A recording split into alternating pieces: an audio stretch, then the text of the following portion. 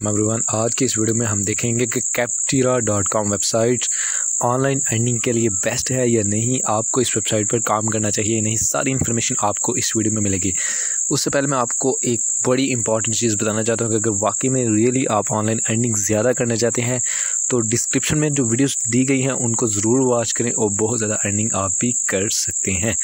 तो अब कैप्टीरा जो वेबसाइट है इस पर बेसिकली आपको क्या करने होते हैं, काम वगैरह करने होते हैं फीड्स बैक देने होते हैं, बहुत से इस तरह के आपको टास्क छोटे छोटे मिल जाते हैं जिनसे आप क्या है कि अर्निंग कर सकते हैं। तो इसको ये रियल है या नहीं है, ये चीज़ चेक करने के लिए मैंने क्या किया है फ्रेंड्स कि ऑलरेडी सब कुछ करके यहाँ पर सर्च करके रखा हुआ ताकि आपका ज़्यादा टाइम यहाँ पर वेस्ट ना हो। तो मेरे पास डियर फ्रेंड्स एक और वेबसाइट ओपन है जिसका नाम है ट्रस्ट पायलट डॉट कॉम आप देख रहे हैं सेम लोगो कैप्टीरा का ही यहाँ पर आ रहा है, ठीक है? और यहाँ पर मैंने ऑलरेडी इसको सर्च करके रखा हुआ है। यहाँ पर सबसे पहले आप देख सकते हैं ये वेरीफाइड कंपनी है, ठीक है? यानी कि ये भागने वाला इसमें कोई सीन नहीं है।